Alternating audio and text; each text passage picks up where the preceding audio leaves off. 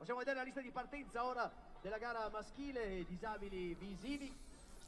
One for the locals, certainly. Next up, then, Giacomo Bertagnolli at the bottom of your screen here. 105.75, the quickest of the men's visually impaired athletes in this medal group to cross the line in the Super G part of this Super Combined event. How will his slalom fare? Well, it's his second Worlds here. He had a bronze on Thursday. Can he follow it on Saturday with a gold?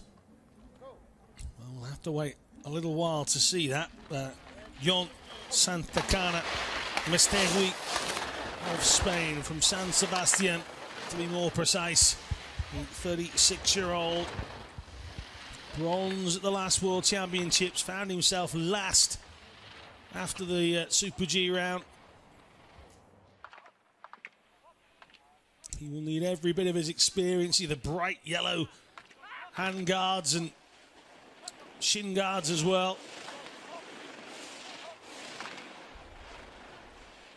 Again, imagine trying to follow a guide through such an intricate, windy course with an impaired vision to boot. That's exactly what Santa Santacana is doing beautifully well. He'll get to the line, and Santa Santacana, his overall time will be.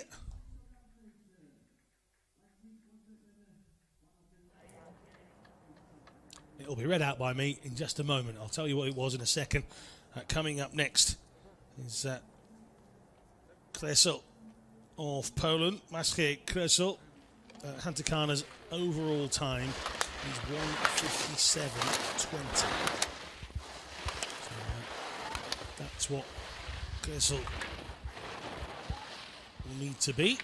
Krezel's first run was uh, 113.23. It was only one tenth of a second quicker than Jon Santacana Maiztegui.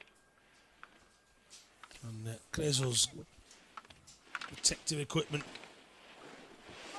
luminous green instead.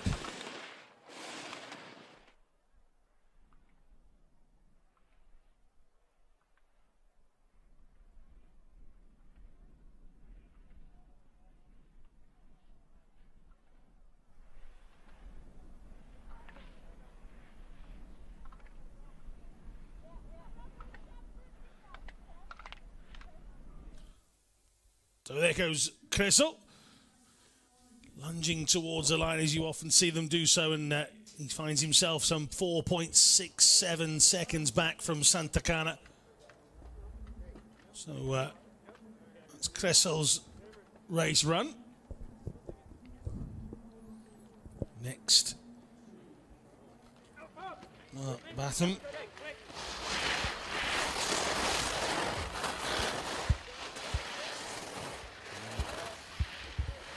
32 on his bib.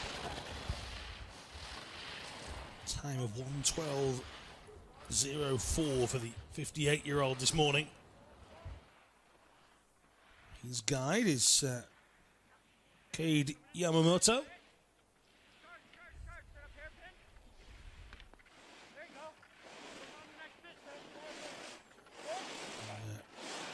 it's an all American outfit, that isn't it? Stripes and stars.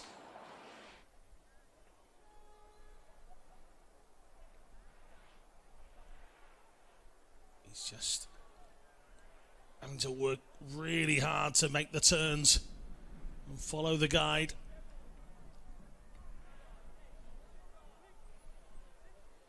Such a difficult pattern to form and well Bathum gets to the bottom and uh, he finds himself in third. Heck of a workout for the American. So, Miroslav Haraus, Haraus of Slovakia on uh, Presov. Choosing the green protective equipment. A little slide from the Slovakian. His guide and he moving through this very quickly, I would have to say.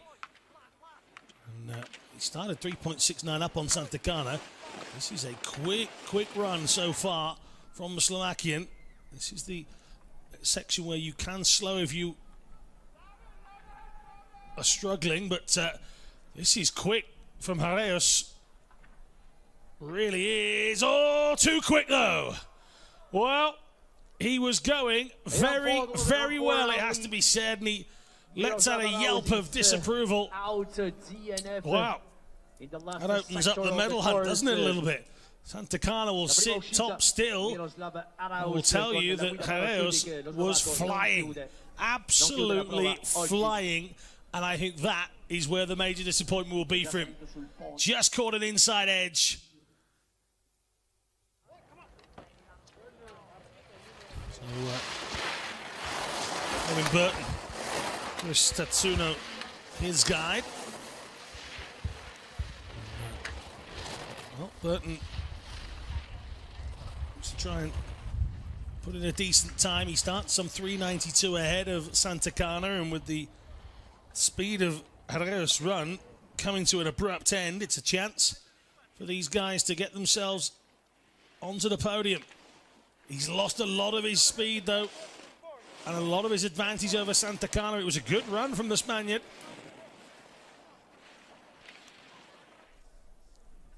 So he has clawed his way back, and at the moment, Burton needs to find a little bit of pace over these final few gates. Coming to vision through our commentary box window now, Burton. And the 34 year old into the final four gates he comes. Squats down as low as he can into a ball. I go second. There's a smile there.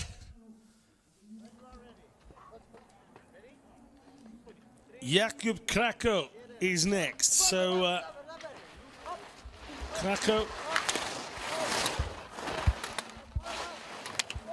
Super G gold in Sochi and a slalom silver.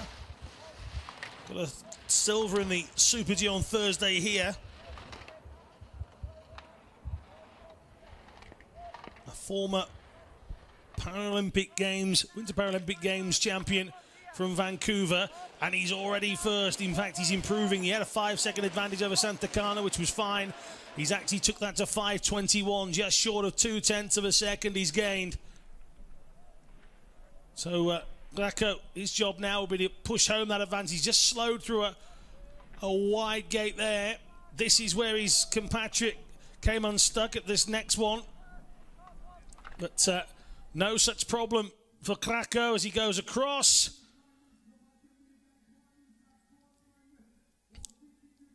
Just lost a little bit towards the end, but 152.28, 4.92 in front of Santa Santacana. The next two will decide whether the Spaniard gets a medal or not.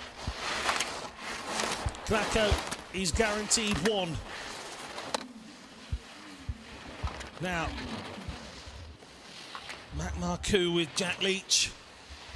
You mentioned over the last few days, Leitch, the, the new coach for the new season. And uh, it brought massive success over the first two events. Can they do the damage here? He's fallen behind Krako. Marcoux was only fractionally behind, or in front, should I say, at the beginning of this, just two 100ths, and he's dropped nearly seven tenths, or over seven tenths. Can he pull it back over these last few gates? That's going to be close, you know. Oh, he's done it. 151.97.31 in front of Krako. What a brilliant bottom end from Mac Marcoux. And the pressure is on this young man. The 18 year old Giacomo Bertagnolli. The crowd at the bottom of this hill will be holding their breath for the entirety of this run. Can he deliver them a gold here in Tarvisio? It's Marcoux, Krako, Santacana as it stands. Bertagnolli, he had a two and a half second lead. He's still got it here. A big mistake would be the game changer. Bertagnolli.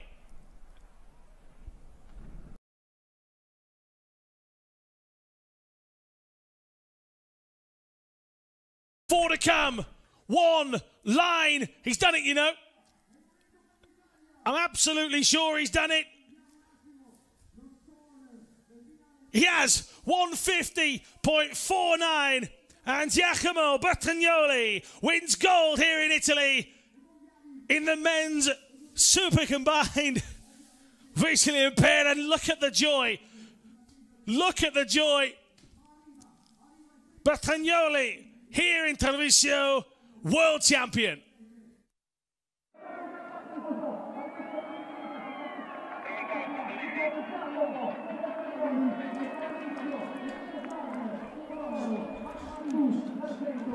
Well, Giacomo Bertagnolli has our announcer. Can't see him, but I'm pretty sure he's doing cartwheels out the way, uh, out to the back of where uh, I'm sat.